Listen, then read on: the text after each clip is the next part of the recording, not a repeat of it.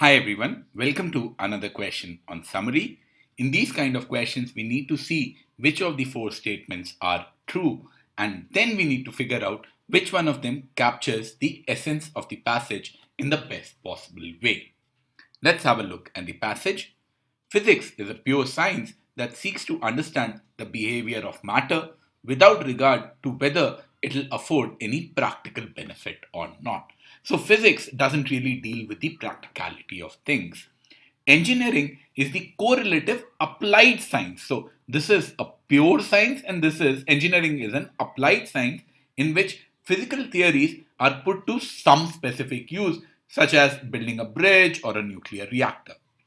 Engineers obviously rely heavily on the discoveries of physicists, but an engineer's knowledge of the world is not the same as a physicist's knowledge because engineers are working in a real environment and uh, physicists are working in a theoretical environment. In fact, an engineer's know-how will often depend upon physical theories that from the point of pure physics are false. So it's saying that whatever an engineer does, sometimes it will be contradictory to what the physics says. And there are some reasons for this. First, theories that are false in the purest and strictest sense are still sometimes very good approximations to the true ones. So something might not be always true 100% exactly all the time, but if it is something which works 99.9999% of the time, an engineer would take it as true and build everything around that.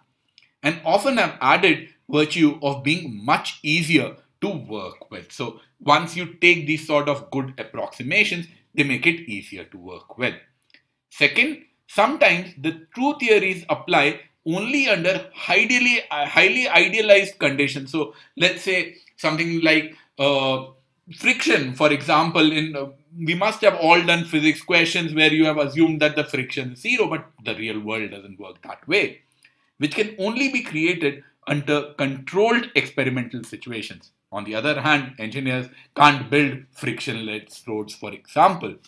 The engineer finds that in the real world, theories rejected by physicists yield more accurate predictions than the ones that they accept. So the engineers kind of do a compromise. They sometimes see that whatever physicists have rejected, sometimes those theories also work in the real world. Let us now look at the summaries and see which one captures the essence of the passage in the best possible way.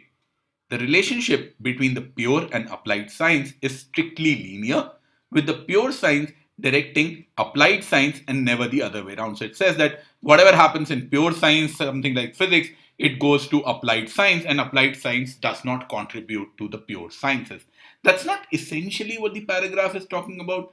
The paragraph is talking about that engineering, it derives from physics, it derives from uh, pure sciences, but it also sometimes rejects uh, pure sciences and it does approximations. So it is not an exact summary of the passage.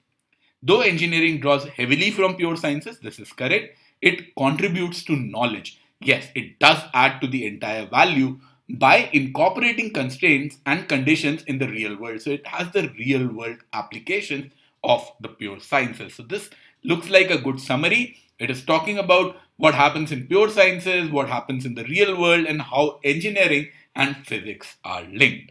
The first one does not even talk about engineering and physics, it just talks about the theoretical aspects of pure science and applied sciences. The unique task of the engineer is to identify, understand, and interpret the design constraints to produce a successful result. Now, this one is not talking about anything about pure sciences or how it derives from it, how, how it makes approximations or anything like that. So, this is not a good summary because it doesn't even mention the pure sciences and the impact of pure sciences on engineering, which is what the paragraph was about.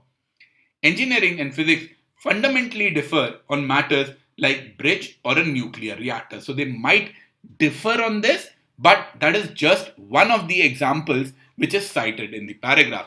So it might be true, but it is not a good summary of the paragraph. So this one was true, but not a good summary of the paragraph. This one may have been true, but not a good summary of the paragraph. So the good summary of the paragraph is given to us in statement 2, where it is talking about the linkages between engineering and physics or engineering and pure sciences, and how engineering evolves adds to the knowledge based upon real world and real conditions, making 2 as our answer here.